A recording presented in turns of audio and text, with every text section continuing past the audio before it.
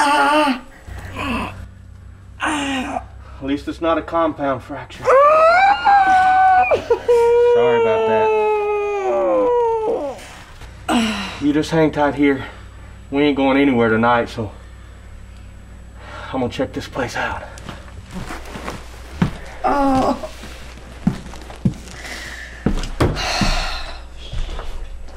How'd you find me? What? How did you find me? I was looking for you. What? My job is to find survivors, and you're a survivor, correct? Yes. That's how I found you. I did my job. So cold. Ugh. Cold floor, let's get you covered up. Oh, thank you. Ah, damn, that hurt. Sorry about that.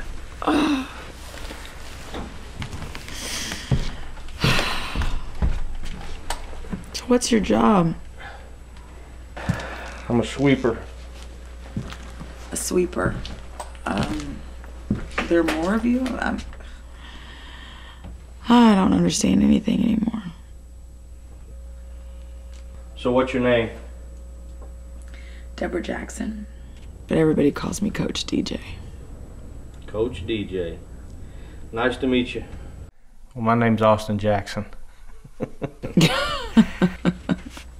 Same last name.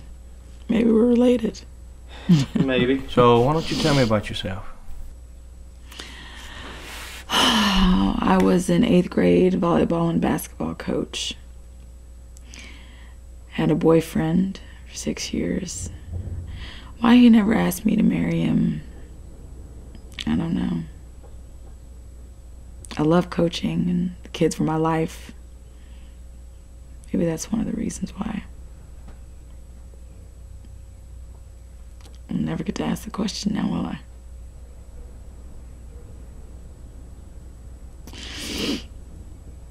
Uh, so can I ask you a question? What happened? Why did it happen? And what happens next? I guess I'm not the first person that you found, huh? You would be right, Coach DJ. Well, It's a long story. well, since we're not going anywhere tonight, I think we have some time. Fine. Well, where do you want me to start? What do you mean, where? I mean, everybody asks the same three questions, just not in the same order. Some want to know what, some why, and then some just simply want to know what's next. I guess, um, from when the bomb went off? Where were you when it happened? Uh, I just finished up practice. I was in my office and the kids had just left the gym. Makes sense. What makes sense? Everybody I've saved so far stayed out of the fog after the explosion. The fog? Chemical warfare, weapons of mass destruction. Yeah, the atom bomb all over again. Who did this to us? Who did it? Um, we kind of did it to ourselves. The world? Not so much who, we pretty much just did it all to each other. The conflict had reached its boiling point. Next thing I know, we were being told to prepare for hell. So if it's if it was like a nuclear bomb, then why didn't it like wipe everything out? Like I said, it was chemical warfare. Missiles were launched and the world was covered with a gas. The fog. The fog, correct. The reason for the fog was to infect people, to wipe each other out, not to destroy the world. Once the chemical was in your system, the change was almost immediate. That's why people went crazy. Yeah, I guess the best way I can describe it is have you ever seen an animal on rabies? Well, then times that times 10. The fog only lasted an hour, but it was long enough for the infected people to start transmitting the disease. So they're not zombies? No, not zombies. They're just like you and me, alive, and can be killed. Why? My best guess money, control, power. That doesn't matter anymore. Now it's all about survival and me finding survivors. So where were you? Sheppard Air Force Base, Wichita Falls, Texas. We were on high alert. I remember putting my mask on, putting my wife's mask on.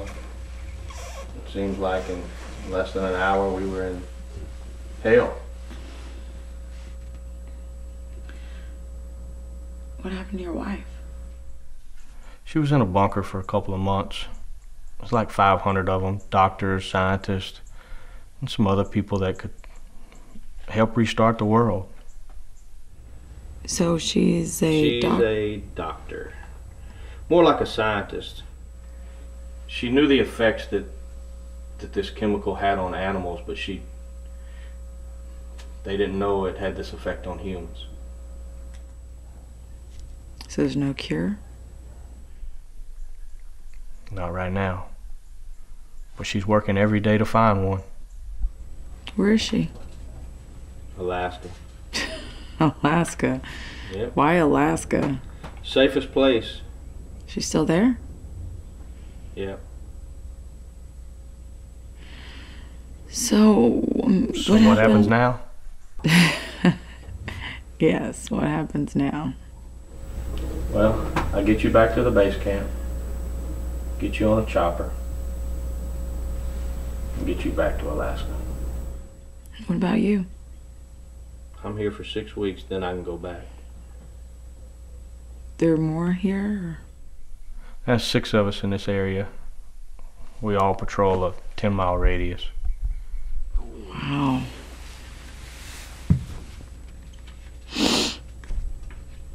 I'm sorry. I'm just asking a lot of questions. I know it's, it's not a problem. Trust me. We're already going to be here, so feel free. So, these things, if they're not zombies, is this thing that they're carrying, is it contagious or Yeah. The disease is spread through the bloodstream. I mean, get a scratch on your arm, or even if the infected spit on you. The change happens in less than 24 hours. I'm just like them?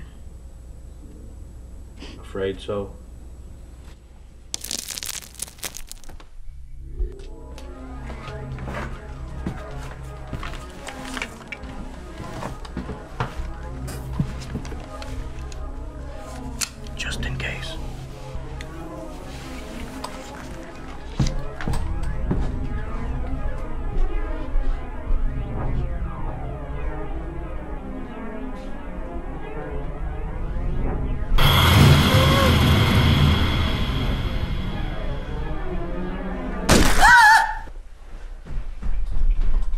You okay? Are you okay? Are you okay? I knew that girl. Coach. Coach. I knew that girl. She looked at me like she remembered me. You don't know that girl. You think you do, but you don't.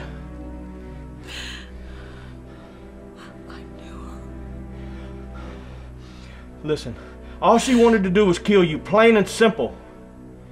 These are the answers to the questions you are asking.